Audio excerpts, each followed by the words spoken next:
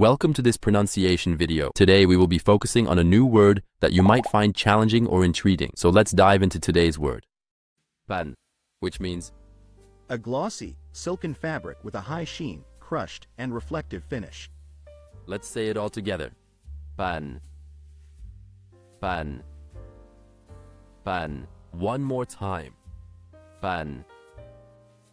Panne. Panne.